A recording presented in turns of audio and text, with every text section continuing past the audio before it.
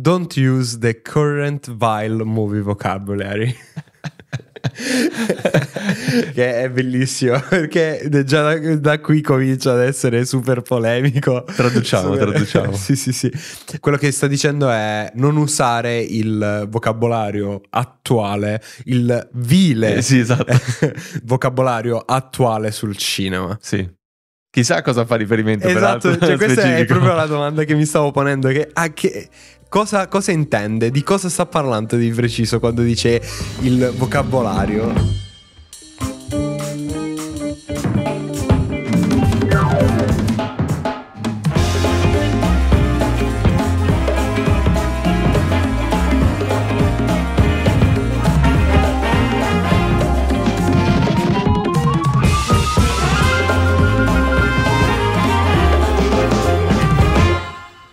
Abbiamo fatto questo bellissimo episodio sulle cose che un filmmaker dovrebbe conoscere, una rubrica, una lista presente sul notebook, di cui il primo è stato Tsai-Ming Liang che ha presentato la sua lista. Fortunatamente Mubi non ha smesso di farlo perché sul quarto numero, che è il più recente, ad ora, ha proseguito con Pedro Costa. Quindi abbiamo le Things a Filmmaker Should Know, le cose che un filmmaker dovrebbe conoscere di Pedro Costa. Siamo nello stesso identico ambito, possiamo parlare di slow cinema, di cinema post-documentario in cui ci sono regole diverse rispetto al cinema canonico, al filmmaker canonico. Secondo me Pedro Costa, peraltro, forse è pure un filo più sperimentale di Tsai Ming Liang, in senso proprio di che film ha realizzato. È un regista portoghese che ha iniziato nell'89 se non sbaglio, quindi Samin Liang ha iniziato nel 92, quindi sono più o meno coetanei artistici. Però per me la differenza tra Pedro Costa e Zemin Liang che Pedro Costa ha fatto il suo film più importante nel 2019, Vita di Navarela, che io vidi su Rai Play, non so se ancora c'è, dovremmo informarci. Se, se, è presente ancora da qualche parte lo metteremo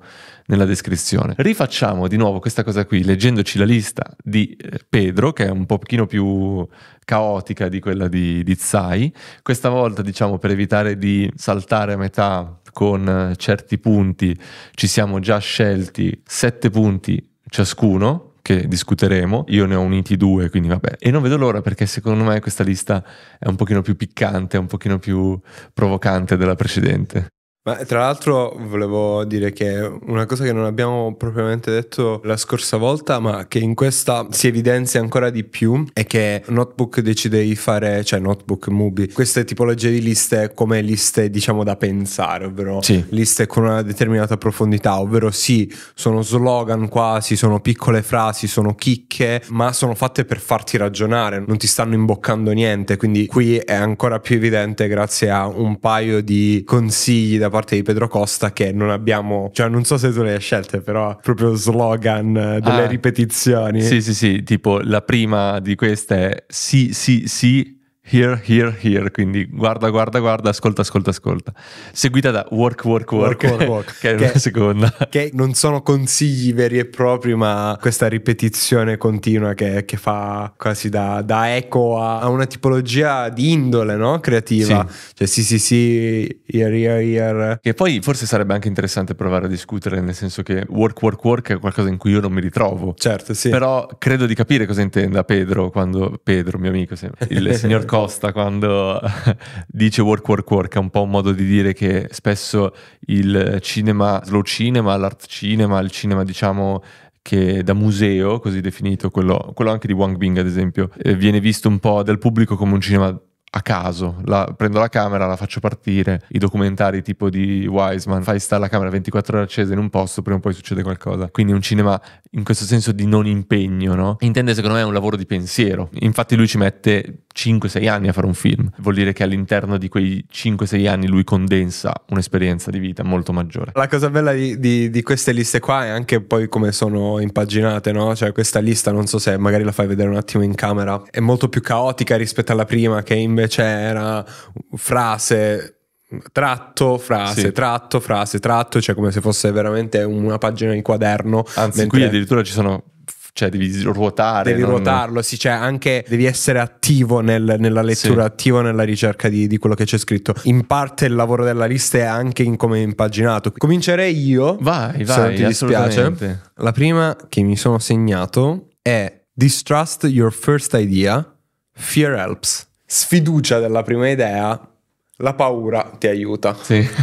la paura è tua amica, in qualche modo. Sì. È interessante, è qualcosa che ti fa, eh, ti fa pensare. Io quando scrivo, quando mi metto da parte le idee, è sempre un continuo tornarci poi in seguito per capire a cosa avevo pensato. La maggior parte delle volte le, prime, le, le prime idee che ho sono molto banali o comunque sono riciclate da qualcosa che ho già visto. Sono impressioni, criptomemoria, citazioni, diciamo, alle mie ispirazioni cinematografiche e poi solamente dopo, quando ci ripenso, quando comincio a ragionare veramente perché penso che il consiglio qui sia il passare il tempo a ragionare, al pensare. La, la, paura non è tanto la paura di avere un pubblico che poi si annoia, ma la paura di non aver fatto le cose per bene. Si collega al work, work, work, no? Cioè di tornarci in continuazione per poter approfondire sempre di più, per andare in profondità piuttosto che la superficialità magari di un primo pensiero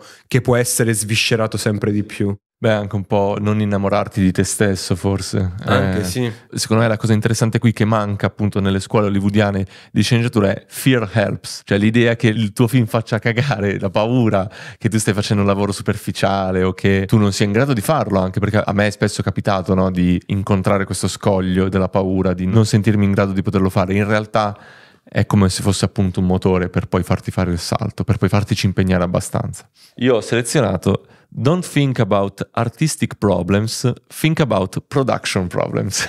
di sicuro per chi ha visto anche solo mezza scena di un film di Pedro Costa risulta totalmente assurdo. I suoi film sembrano estremamente liberi dalla produzione. Invece Pedro Costa comprende pienamente che un filmmaker per essere tale, per essere oggi considerato veramente libero, deve essere anche produttore di se stesso, secondo me. E la produzione è lo scoglio più grande. Se tu non affronti la produzione in maniera corretta rischi di non fare il film, purtroppo ne so anche qualcosa, quindi l'idea che non ti devi concentrare sugli aspetti artistici perché in un qualche modo arrivano da te. O sono già presenti nella realtà, nel suo caso lui lavora in un modo molto specifico, quindi non si preoccupa di quella cosa lì, si fida un po' di quello che c'è, dall'altro ti piace, quindi è inutile ragionare su... Io infatti non credo negli sceneggiatori che tu gli dici vorrei fare un film su questo e loro ti buttano giù la roba. Secondo me ci vuole sempre un'urgenza, mm. ma in quanto tale non ha senso ragionarci. Ragiona invece su come affrontarla produttivamente. Peraltro non si riferisce neanche pensa alla produzione, dice pensa ai problemi della produzione, cioè se hai un'idea come la puoi affrontare al massimo, soprattutto immagino in quanto post documentario tutta una questione sui diritti, sulle liberatorie e su come affrontare problemi più legali anche che produttivi. Comunque poi sì, se non sbaglio c'è anche una sorta di contraddittorietà sì, in sì, questa sì, cosa. Sì, sì, sì, cioè... che vediamo dopo. Ah, la vediamo dopo? sì, okay, sì, sì, okay, la vediamo okay, dopo, la vediamo dopo. Passo direttamente alla mia prossima don't use the current vile movie vocabulary. che è bellissimo perché già da, da, qui comincia ad essere super polemico. Traduciamo, super... traduciamo. sì, sì, sì. Quello che sta dicendo è non usare il vocabolario attuale, il vile eh, sì, esatto. vocabolario attuale sul cinema. Sì. Chissà cosa fa riferimento esatto, cioè, questa è proprio la domanda che mi stavo ponendo che, a che Cosa, cosa, intende? Di cosa sta parlando di preciso quando dice il vocabolario, il cinema corrente? Se io ho pensato tutto a un aspetto produttivo, cioè i mezzi sì. che si usano, la tipologia di inquadrature che si anche usa, di post produzione, tutta una serie magari anche di ruoli all'interno del best set. Boy. Esatto, Mamma best mia. boy, grip, tutte queste robe sì, qui. Sì, È bello vedere come vile nel senso di ormai legato a un discorso produttivo chiuso di casta quasi che devi sapere oppure in qualche modo non stai facendo il lavoro giusto perché è necessario anche una cosa di cui parliamo spesso l'idea che su un set se sei un elettrico non puoi fare nient'altro sul set ma non che ovviamente vai alla camera a toccare ma magari non ci, ci sono proprio determinate attrezzature che non puoi toccare perché le possono toccare non puoi nemmeno dare una mano magari sì, cioè... sì. e allo stesso tempo devi difendere la tua posizione non può arrivare quello del catering a parlare con te, no? Cioè, esatto. C'è una distanza così come tu non ti puoi riferire al regista. Sì, sì, sì. Una distanza gerarchica sì. quasi, come se fosse una, l'esercito. Sì, cioè, sì, sì, no, no, molto, molto chiuso, molto militare. Vile anche per questo, è molto distaccato dalle cose veramente importanti. Poi una cosa di cui parliamo spesso noi è l'importanza dell'umanità sul set, no? De, del capitale umano in quanto persone di cui hai fiducia o con cui hai una scintilla, una sintonia per cui su un set tutti possono aiutare. Questa cosa poi si collegherà anche a un'altra cosa che dice poi dopo Costa, ma per me è molto importante. Sì, poi di sicuro non vuol dire che viva l'anarchia può arrivare certo, sì. una persona che si occupa di appunto l'autista e che ne so si mette a parlare delle tue scelte registiche. È ovvio che lui non intenda quello ma nessuno diciamo mette in dubbio il fatto che se tu sei in grado di costruire una buona crew un buon team questa cosa no, non succederà. Quindi è ovvio che rifiutare il sistema con cui si svolge il set attualmente significa poi anche lavorare in modo da trovare un'alternativa valida e funzionante funzionale Secondo me poi lui si riferisce anche a tutti gli aspetti da critico e da spettatore, l'abbiamo già detto in, forse nel primo episodio, no? Mm, regia da manuale, sì. box office, tutta una serie di termini con cui appunto ci si riempie spesso la bocca che si utilizzano solo ed esclusivamente per innalzare e elevare anche un po' la propria figura. Anche quel vocabolario effettivamente può essere considerato vile, se si pensa anche solamente alla tendenza degli ultimi anni di pensare molto al, al botteghino come valutazione di successo, di qualità dei film, quindi quindi assolutamente anche quella parte fa è vile. Sì, sì, sì, è vile, schifosa.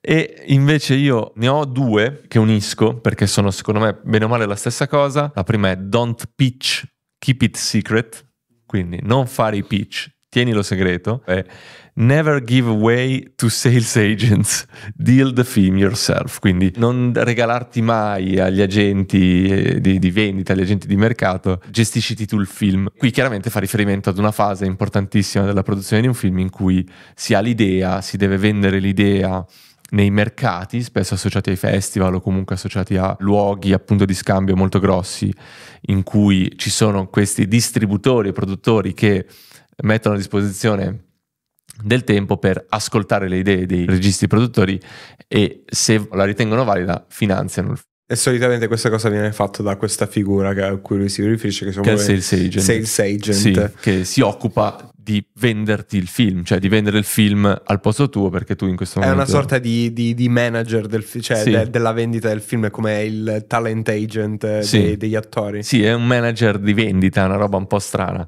Quindi quello che lui dice nella prima parte è don't pitch, keep it secret, quindi a prescindere non fare il pitch, cioè non andare a questo genere di eventi, tieni in segreto il tuo film, non, eh, non, andare a raccontare il film prima che esista. Prima no? che esista, sì. Che è bellissimo, è una grande cosa, anche qui non si riferisce al metodo Nolan in cui la sceneggiatura è sigillata, si riferisce proprio all'idea che tu ne puoi parlare del tuo film, ma non vai a festival, eventi, mercati o atelier a fare questo vile lavoro perché, vile adesso sarà un bel termine, perché...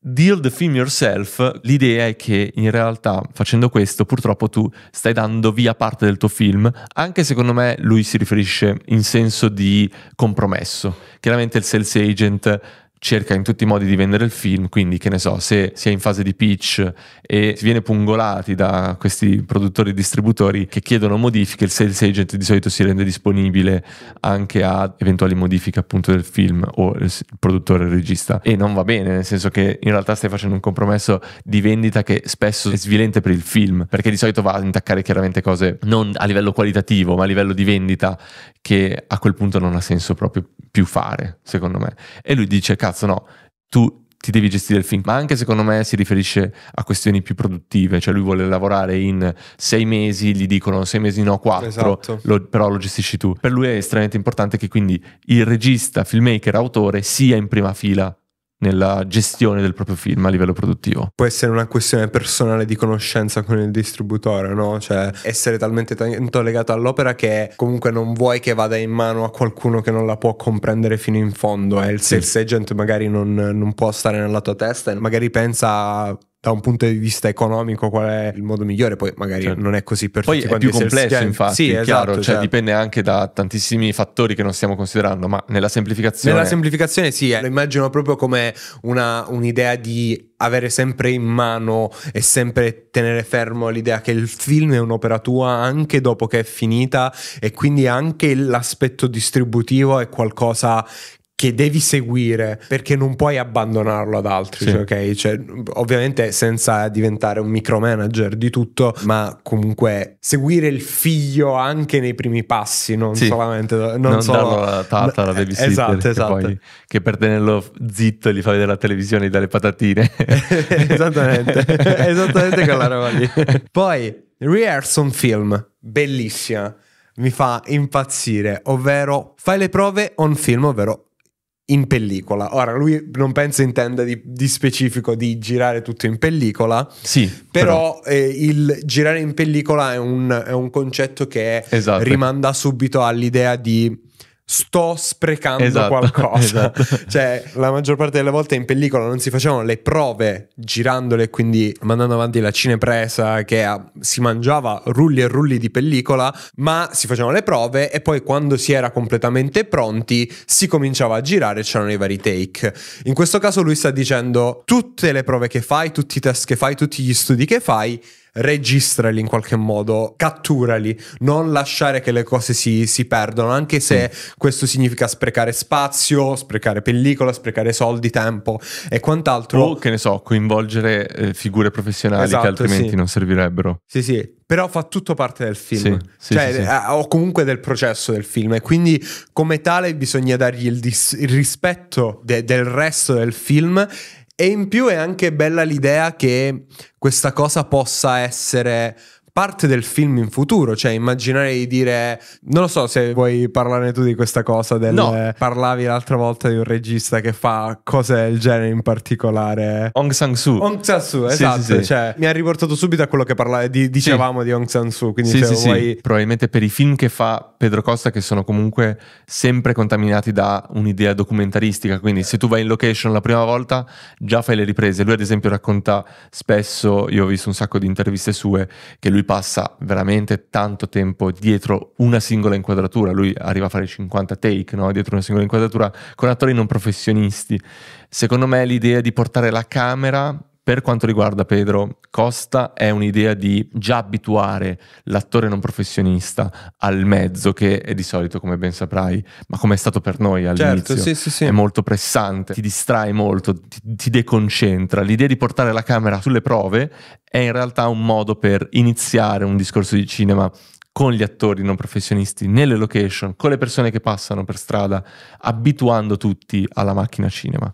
Lui poi non va ad utilizzare, secondo me, le, le prove. Anche io immagino fosse una cosa del genere anche per Pedro Costa, però mi immagino anche della possibilità delle, delle, prove che fai, a parte poter essere un mezzo per accrescere l'opera, sì. quindi in questo caso magari ambientare, diciamo, ambientarsi con gli attori o cercare di capire da subito e, a, e avere da subito la possibilità di avere degli estratti che ti fanno comprendere come andranno le riprese, però a me faceva pensare questa cosa ti permette anche di avere tanto materiale che è già filmico di suo e che ti permette di fare cose sì. di quel tipo, no? C'è un regista che è Hong Sang-soo, che è un regista ultra prolifico coreano, che non fa mai solo il film che vuole fare, ma con gli stessi attori, con la stessa idea, più film, di solito appunto proprio perché tu stai lavorando, cioè stai lavorando a un film, stai lavorando a un'idea e l'idea richiede tempo, richiede anni per essere sviluppata, per arrivare diciamo ad una forma, ad un output definitivo, tutto il lavoro che c'è nel mezzo non lo buttiamo, lo trasformiamo in opere minori, in opere di, di prova. È anche interessante l'idea di provare con il film, cioè fare la prova anche per vedere se il montaggio funziona, sì, sì, se sì. ci sono le cose. Se io faccio le prove solo con gli attori, nel senso di li dirigo con loro col tutone, senza costumi, per vedere se funzionano, poi tutta quella roba lì come funziona, no? In realtà cosa che ha fatto anche Jazanque poi con tutta l'idea che lui abbia iniziato i film con le camere digitali, oppure che secondo me è importante anche questo, tutti gli scarti poi sono utili, quindi quello che tu registri in futuro, poi lo dice anche lui, no? Grow old shooting, in futuro potrebbe trasformarsi in shooting utile per eh, montarci qualcosa, prove comprese, quindi secondo me è un po' questo. Infatti è da, da aggiungere assolutamente al vocabolario vile l'idea di scarto e riserva. Ah certo, certo, buono scarto riserva, cioè. esatto. mamma mia, terribile, certo. Poi importante secondo me per uno studente iniziare dal buono scarto riserva, Certo, poi sì, quando sì, inizia a costruirti la tua idea di cinema lo devi subito abbandonare. Io avevo questa che è Fight Inflated Budgets, Fuck Smart Asses with Financial Packages, Know the provenance of every cent of your budget. Combatti inflated um, budget inflazionati, quindi in senso che hai Gonfiati. 3 milioni ma alla fine il film ne costa 1 e sono 2 milioni buttati. Fanculo gli smart asses, quindi questo è un termine che tradotto è difficile. I rotti in culo intelli- intellettuali, rotti Sì, in culo. tutto io. Esatto, sì, sì. con i pacchetti finanziari conosci la provenienza di ogni centesimo del tuo budget. Accade spessissimo, accade ancora oggi, accade in Italia che arriva la casa di produzione, ti fa la propostona, ti danno 3 milioni per fare un film e questi 3 milioni tu non sai da dove arrivano perché tu stai firmando diciamo per la regia e poi magari alcuni soldi vengono da qui, altri soldi vengono da qui, c'è uno sponsor, sei costretto a fare quello, sei costretto a fare quest'altro. Quello che accade è che spesso alla firma del contratto tu perdi il controllo ovviamente poi di come viene gestito il budget. Rientrando nell'idea che, abbiamo già discusso, Pedro Costa dice no, cazzo, conosci ogni centesimo del tuo budget. Se tu conosci ogni centesimo del, suo- del tuo budget, sai valorizzarlo, sai che ogni giornata che fai di shooting ha un'importanza gigantesca e sai anche come muoverti nei limiti nei confini di quello che ti serve. Se tu hai budget appunto inflazionati, giganteschi, in realtà è un po' come la carta bianca, le idee perdono di potenza secondo me, perché stai giocando con qualcosa che non è reale, è un'utopia, è un qualcosa che, che non esiste. E poi è molto divertente, smart asses, cioè appunto persone intellettualini che hanno pacchetti finanziari, quindi che ti possono garantire la vendita alla televisione, la vendita di qui, la vendita di lì. Pacchetti quindi già pronti, no? Lui rifiuta il, il già pronto. È chiaro che non è una cosa che, anzi vabbè, questa è una cosa che faranno boh, due persone su un milione all'interno del mondo del cinema. Fare questo tipo di operazione allunga notevolmente i tempi di realizzazione di un film, ma ti permette veramente di avere una libertà e secondo me ti fa dormire anche meglio Sì. in generale, perché sembra una responsabilità in più, però in realtà te la stai gestendo tu e quindi eh, sei molto più tranquillo alla fine. Una cosa da dire sui budget ingigantiti, gonfiati, è che è sempre difficile oggi capire veramente quando un film con un budget stratosferico sopra gli 80 milioni, Sì. ok? Sia un film in cui l'autore aveva veramente tutto il potere decisionale sull'opera che stava, stava facendo perché quando si parla di numeri così tanto alti pensare anche che poi lo studio ci deve rientrare in assoluto e pensare anche di essere in un momento in cui gli studio sono estremamente spaventati anche de- delle uscite in sala ogni volta andare al cinema e guardare Scorsese anche solamente per un attimo tentenni. Sì. cioè nel senso soprattutto sapere ah Scorsese ha fatto questo film da 200 milioni. C'è un attimo di tentennamento nel cominciare a chiedersi se non abbia dovuto sottostare a pressioni, a eh, decisioni altrui e cose del genere. Quindi anche quello è il problema dei budget eh, grandi, no? Più i soldi aumentano, più non so se riesci a mantenere le redini del progetto. Poi c'è anche, secondo me, un gioco di classe molto forte che lui fa. Vabbè, Pedro Costa ha lavorato Certo, certo. con eh, appunto i quartieri più poveri, quindi in un qualche modo la sua politica è una lotta di classe, però l'idea che una- un regista, un... eh, adesso purtroppo il nostro ministro della cultura ha fatto un discorso simile, però vi assicuro che non c'entra niente. però il fatto che un, un attore percepisca del- degli stipendi giganteschi mentre un eh, povero assistente che si fa il culo tanto quanto, perché non voglio sminuire il lavoro dell'attore, eh, ci mancherebbe tanto quanto il regista, tanto quanto il, il suo attore protagonista percepisca uno stipendio che è un millesimo un milionesimo del, del, budget è sbagliato, cioè fanculo appunto fuck sti cazzo di budget gonfiati perché bisogna dare 40 milioni di Caprio, cioè è, e infatti, subito dopo nella lista, il buon oh. Pedro Costa dice: Reduce the wage gap to the least possible. Riduci lo stacco, il divario sì. eh, di compenso il più possibile. Sì. Tu, eh, al divario minimo possibile che esista, ovvero le persone che stanno lavorando su questo film, lasciando stare poi a seconda dei, dei gradi di gerarchia sì. e tutte queste robe qui, le persone che lavorano su questo film devono poter guadagnare il giusto ed essere distaccati il minimo, sì. ovvero lo schiavo stagista non può prendere infinitivamente meno rispetto a, che so, il best boy che lavora lì da, da anni.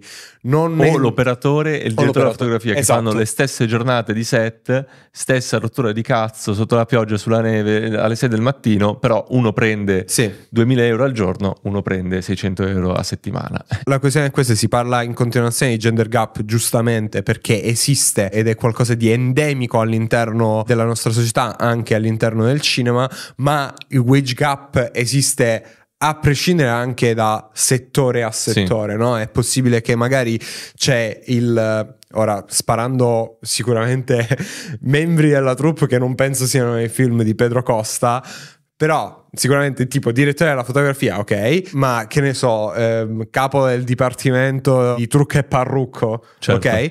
Abbiamo due capi di dipartimento, sicuramente da una parte c'è una figura artistica più è in prima linea nel, nel, fare il film, mentre dall'altra parte c'è qualcuno che lavora più veramente in the back of the mind, cioè indietro anche nella testa degli spettatori poi, perché magari uno non ci pensa sempre subito a quell'aspetto, però sono entrambi direttori capi dei, dei dei propri dipartimenti, non può esserci un divario allucinante. Non può esserci il direttore della fotografia, il eh, capo elettricista divo. Sì. E questa è la cosa sì. fondamentale. Sì. No? Facciamo un attimo di, di, chiarezza: non è che dice tutti devono percepire la stessa somma certo, di denaro, no. dice riduciamolo al minimo possibile. Quindi va bene, il direttore della fotografia può guadagnare più dell'operatore, ma deve essere il minimo indispensabile per la responsabilità perché effettivamente magari può gestire di più, non è 10-100 volte tanto. Così come è una cosa che appunto ahimè eh, accade moltissimo semplicemente perché tu hai il regista che è Muccino che è Paolo Genovese e quant'altro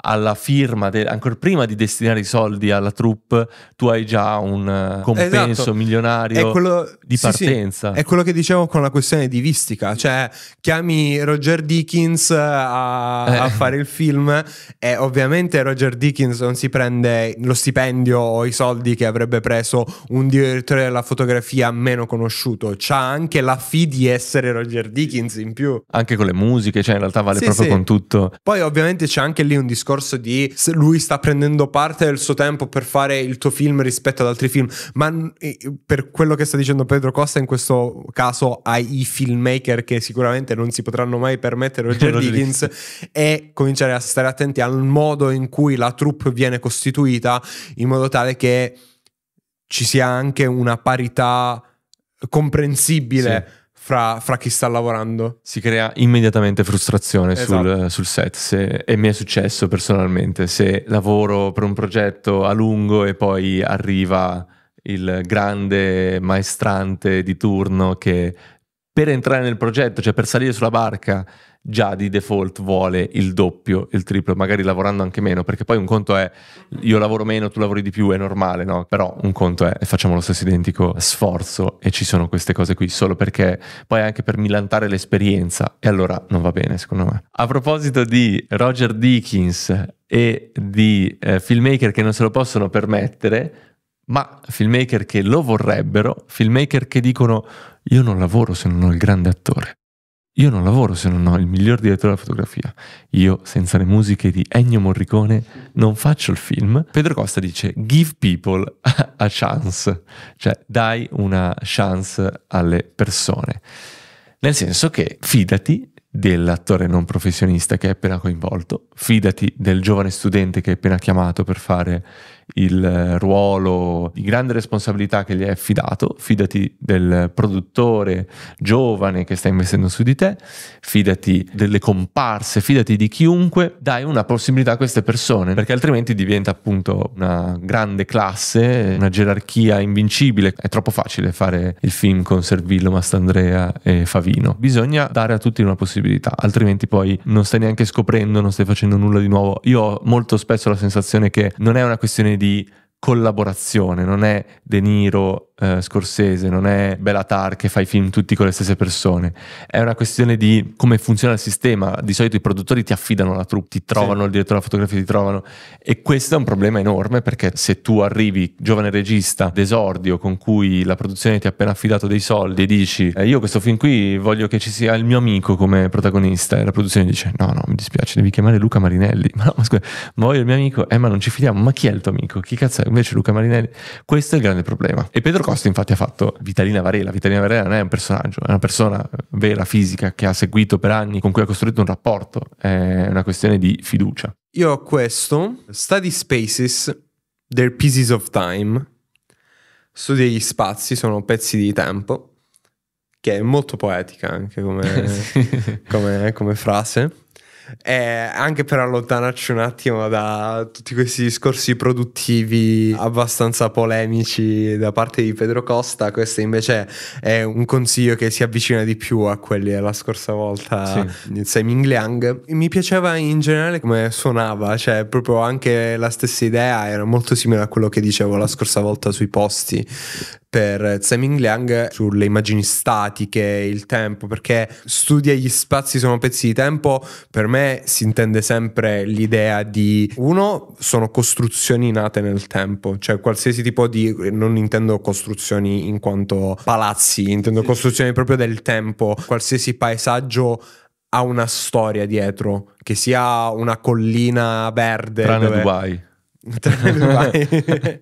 anche Dubai ha la sua, la sua, storia, è triste ma ha, ha, la sua storia. Quindi i, i, paesaggi non sono lì da sempre, non sono sempre stati in quel modo, si sono formati, hanno una storia anche spirituale dietro. Io sto immaginando in questo momento paesaggi bucolici, diciamo, campagne, foreste, che comunque veramente racchiudono una storia temporale. Ma allo stesso tempo, anche da un punto di vista di visione, i paesaggi sono pezzi del tuo tempo, ovvero ovvero nel momento in cui li guardi, nel momento in cui li esplori con lo sguardo, lo stai facendo nel tempo e stai utilizzando il tuo tempo e questa cosa ti permette appunto di entrare nei pensieri ti permette di vagare all'interno dello spazio. Quindi mi piace sempre questo discorso cinematografico in cui il tempo è il cardine del discorso, ma lo spazio non viene mai dimenticato, anzi diventa veramente qualcosa di estremamente potente proprio perché ci sono tutte queste relazioni che tornano in continuazione. Dicono che il 90% del lavoro del regista è fare il casting, ma secondo me è anche saper ambientare la storia. Ci sono un sacco di volte in cui vedo un film bellissimo, una location incredibile,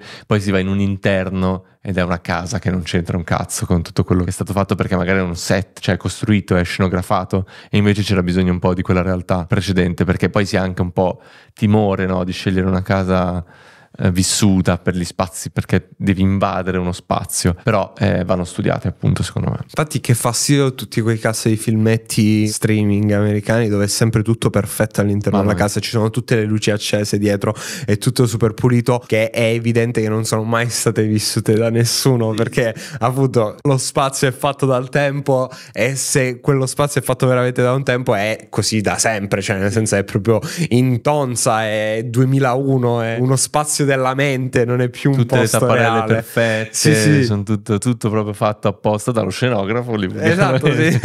non c'è niente da studiare in quel caso, quindi è molto facile. Allora io invece torno un attimo sul lato produttivo, però eh, fa Sì, ridere. questa era una piccola deviazione no, ma poi ce l'abbiamo, eh, altri, cioè, ci torniamo io perché io non penso che ci torno più. Own your means of production, protect your tripod. Quindi eh come possiamo tradurlo? Possiedi i tuoi... Possiedi i mezzi della produzione. Sì. I tuoi mezzi produttivi è, è, ovviamente una citazione marxista del comunismo, no? Cioè l'operaio deve possedere, il proletario deve possedere i mezzi della produzione. Proteggi il tuo tre piedi. e poi questo è uno slogan bellissimo, sì, cazzo. Sì. Sì, possedere i propri mezzi, possedere l'attrezzatura è libertà. Questo è fondamentale. Ma al posto che fare tutto in 90 giorni, che ho 200 milioni, mi compro le cose e ci metto un anno, scusami, così non devo stare ad affittare a rompermi le palle, no? Se tu hai la tua videocamera, hai le tue lenti e hai il tuo treppiedi, il tuo cavalletto, chiamiamolo così, tu poi quando vuoi uscire a fare le riprese,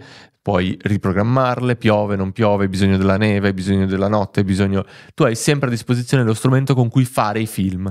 Se tu noleggi sei costretto al contratto di noleggio a lavorare appunto nei limiti di tempo che ti stai comprando e secondo me Protect Your Tripod rientra nell'idea che sei di tua proprietà devi stare attentissimo perché a quel punto lì tutto dipende da come tu tieni alle cose non so se ha una critica all'idea che poi spesso tra rental, set eccetera eccetera l'attrezzatura venga vista un po' come Ferraglia. Sì, ferraglia, cioè possederle significa anche pensarci molto di più, significa anche che se le compri ti servono davvero. E io sono dell'idea che più una crew è leggera, più efficace nel lavoro. No, io ne ho due sì, che verranno... Le ultime due, giusto? Sì, sono le mie ultime due, ma eh, le accorpo perché parlano più o meno della stessa cosa. La prima è Don't touch bad films with your eyes. Don't watch too many films. Quindi questa è, è la prima ovvero non toccare con i tuoi occhi film brutti e non guardare troppi film. Ok, so, e, e queste non sono nemmeno d'accordo con questo, quindi sarà interessante. E la seconda è disprezza lo studio dei film, lo studio del cinema e disprezza gli amanti del cinema sdolcinati. Quindi qui Pedro Costa ci prende a pedate nel culo a entrambi.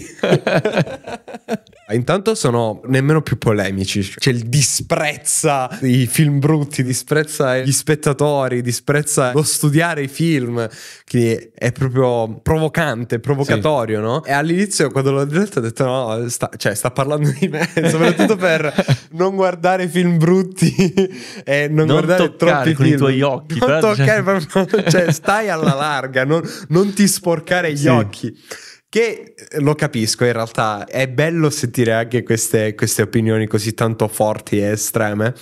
Ovviamente io non sono d'accordo su, sulla seconda sicuramente, sulla prima ha ragione ma non sono d'accordo, cioè ha ragione ma a me i film brutti mi piace guardarli in compagnia, mi piace dissezionarli, mi piace arrabbiarmi. Sì, mi, questa è una cosa che soprattutto nei primi, negli ultimi giorni abbiamo scoperto. A me piace molto arrabbiarmi e quindi guardare film brutti mi riempie un pochino, mi dà quell'adrenalina e poi guardo, non so se guardo troppi film, però guardo tanti film. Dipende lui cosa intende. Dipende effetti. lui cosa intende, se, se, forse intende non strafogarti di cinema. Sì. Però comunque sono tutte e due cose che faccio, quindi e continuerò a fare fare, eh? non è che se me lo dice Pedro Costa smetto. No, no, no, certo, sempre cercando di capire cosa c'è dietro la provocazione. Sì, sì. Vabbè, io sono pienamente d'accordo invece sui bad films, quindi io sono totalmente Pedro Costa, non voglio minimamente guardarli, né... e purtroppo è triste quando li guardo, mi sento derubato appunto. Invece su Don't Watch Too Many Films siamo sulla stessa barca, nel senso che non capisco se intenda che ad esempio già un film al giorno in un anno sono tanti film. Eh, cosa vuol dire tanti? Cioè, intende dire più di uno al giorno, intende dire che una settimana basta e avanza, no? In ogni caso io ho sperimentato entrambe le cose e credo di aver capito cosa lui intende. Secondo me quello che si intende è non guardare il cinema come una checklist okay, di, sì. di, cose viste, un archivio, un, come letterbox. Cioè, dice non guardare il film solo per poter riempire la pagina, solo per poterlo loggare, solo per poter mettere questa cosa qui. Anche in realtà smontando il concetto di festival che tu in una settimana ti guardi giustamente se hai l'accredito 5 film al giorno. Perché? E io credo di sapere molto bene perché. Perché purtroppo ti dimentichi quello che guardi. Se sì. tu guardi un'opera e subito dopo col tuo cervello ne guardi un'altra, purtroppo faccio molta fatica a entrare e uscire. E quello che succede è che facendo fatica a entrare e uscire dedichi meno energie e dedicando meno energie sei più disattento, rischia che ti rimanga meno, rischia che ti parli meno, invece un film andrebbe digerito. Per sì. essere digerito lo devi guardare, devi aspettare, magari lo riguardi e secondo me Don't Watch Too Many Films fa riferimento a questo. Anche probabilmente a questo punto legandomi, magari non è proprio quello che si intende anche per perché comunque nella costruzione della frase non c'è questa cosa, ma anche non guardare il film come se fosse contenuto, no? Cioè non Esatto. guardare troppi film come se fosse qualcosa che devi assorbire e basta. Cioè, ma... Devi riempire, cioè un Sì. po', ecco, in questo, questo è l'errore che noi facciamo, ad esempio. Io mi devo vedere Scorsese, parto dal primo e vado all'ultimo. Sì, esatto. Io mi devo vedere Fellini, parto dal primo e vado all'ultimo. Errori che continuo a fare, tant'è che a volte si incappano in cose che sapevi già forse che non ti potevano interessare. Cioè, su- nel ceccare Scorsese ci sono evidentemente dei film che non mi interessano, ma che sono andato a vedere perché è Scorsese. E secondo me non ha senso farlo, diciamo. Sì. Però è una cosa che si impara col tempo. Sì, sì, sì. Poi infatti. considerando che è filmmaker, quindi noi siamo anche amanti del cinema, forse un po' E diverso. infatti quando parla di disprezzare lo studio del cinema e disprezzare gli sdolcinati amanti del Chi cinema sono gli sdolcinati amanti del cinema? Ah, i, i film bros. Beh, i sdolcinati amanti del cinema.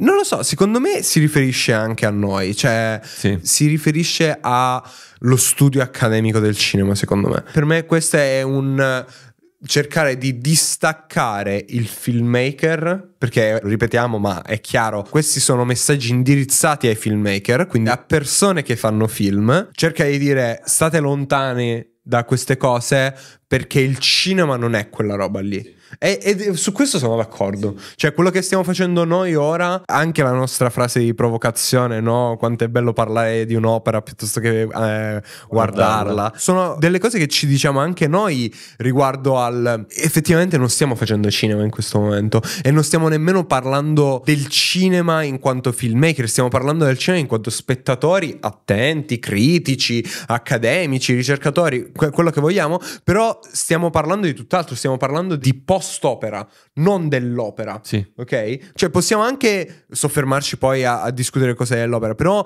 quello che stiamo facendo è interpretare e dare alla luce qualcosa di nuovo.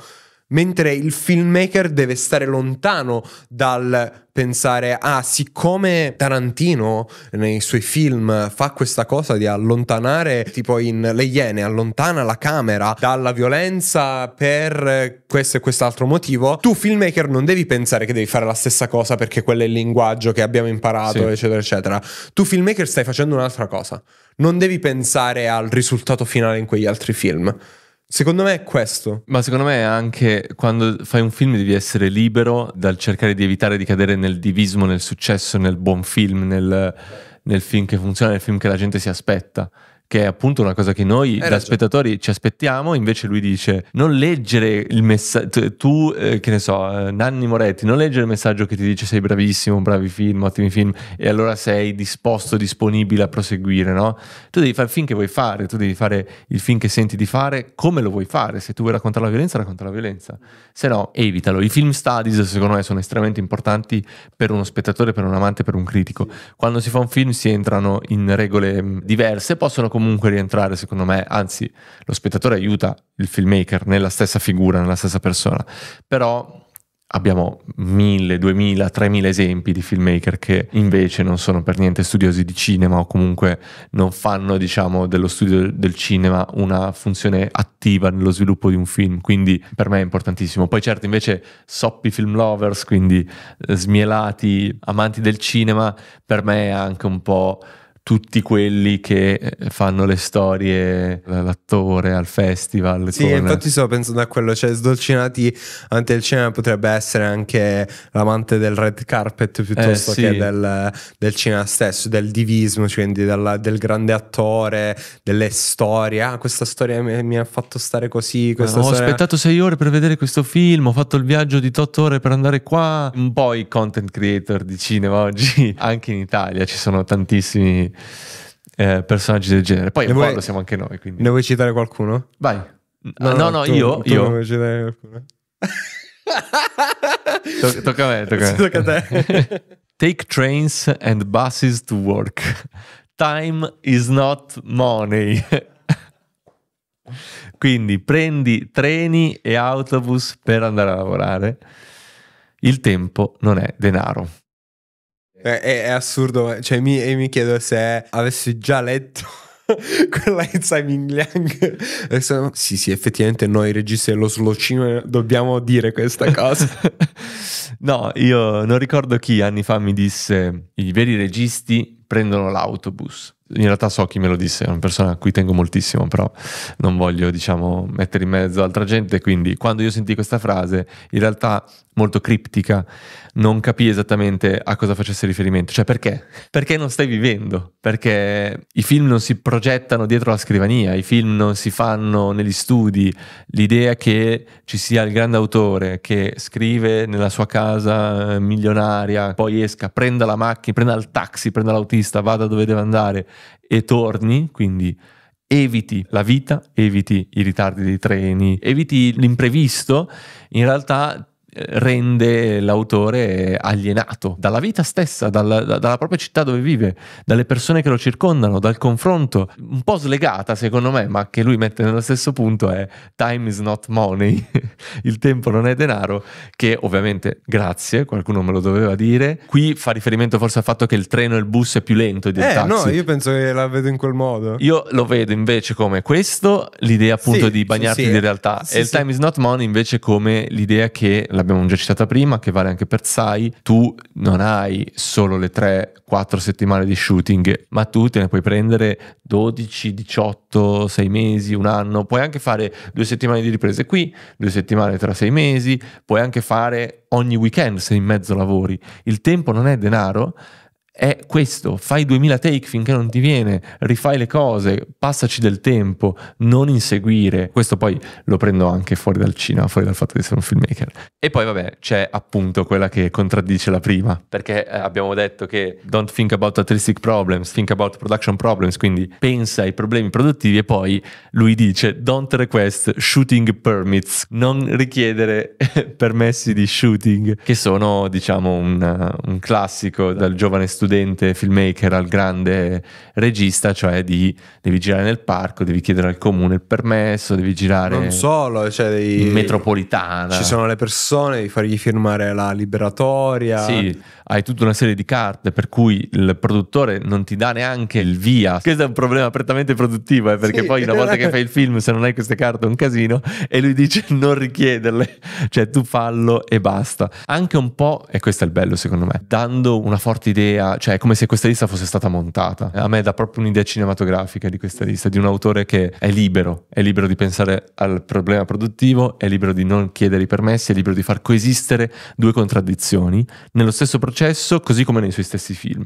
I suoi film sono documentari e sono finzione, sono scritti e sono improvvisati, sono, eh, hanno una fotografia incredibilmente estetica, incredibilmente forte, ma non è The Lighthouse. Non sono virtuosi in termini sì. di immagine, Eppure sono immagini potentissime perché il cinema può essere tante cose insieme. Non bisogna confinarsi nell'idea che esistano delle regole matematiche per affrontarlo e lui è l'esempio concreto, anche perché poi a me piace molto lui. Sai, Tsai Ming Liang comunque arriva da una wave, quella taiwanese, che era ricchissima in termini proprio anche di, di cinema, di, di, riflettori. Pedro Costa è portoghese, fa i film nei quartieri più poveri di Lisbona, eh, ci mette una vita ed è fondamentale secondo me che un, un filmmaker possa leggere queste cose qui. Poi ne abbiamo saltati una decina sì, altrettanto sì. potenti, eh, però sì, un paio erano work, work, work, work, work, work. Eh. Alcuni anche magari sì, esatto. Detti magari in modo diverso, però è bello vedere anche questa uh, unanimicità su alcune tematiche, no? Cioè, sì. soprattutto questa qui, proprio endemica nello slow cinema. Lavora lentamente, il tempo non è denaro,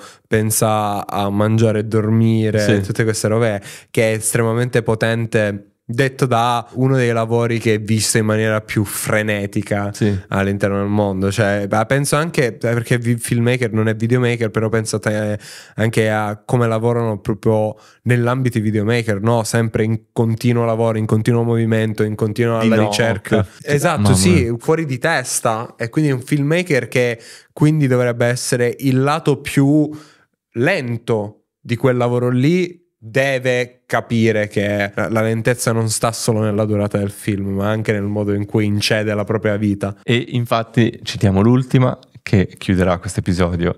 No one has ever known what cinema is. Nessuno ha mai saputo che cos'è il cinema e ognuno scoprirà la propria strada e ognuno farà il proprio. Quindi grazie Pedro, grazie Mubi. Chi sarà il prossimo? E te lo volevo chiedere io, pezzo di merda. chi sarà? Chi sarà? Non lo so, secondo te chi chiamano? Cioè, tu sei, conosci molto di più lo solo cinema rispetto a me. Eh, non so se continuano su, su questa sì, tipologia di registi. Perché di sicuro non mi aspettavo Pedro Costa. Di sicuro a questo punto sono personalità che. Perché è superficiale dire Simon Liang slow cinema, Pedro Costa slow cinema. Il loro cinema visto certo, e sì. confrontato sono due cose completamente diverse. Secondo me, Simon Liang è un autore del cuore, Pedro Costa è un autore del cuore, potrebbe esserci quindi la zampina del dio cinema che sta facendo fare queste interviste, quindi per me potrebbe essere Jazanke. Per te? È possibile Jazanke, penso che andranno su qualcosa di un pochino più conosciuto nella nicchia, ovviamente, tipo Alab Diaz. Ah, Ah certo, anche Love Diaz potrebbe essere tranquillamente, sì. Eh, speriamo di scoprirlo presto, non so, non ha una cadenza specifica, quindi soprattutto spero che esca dopo questi due episodi, così da almeno poter tenere questo pezzo, perché sennò dobbiamo tagliarlo. Vai, dimmi adesso il tuo consiglio per i filmmaker. Incazzarsi fa bene.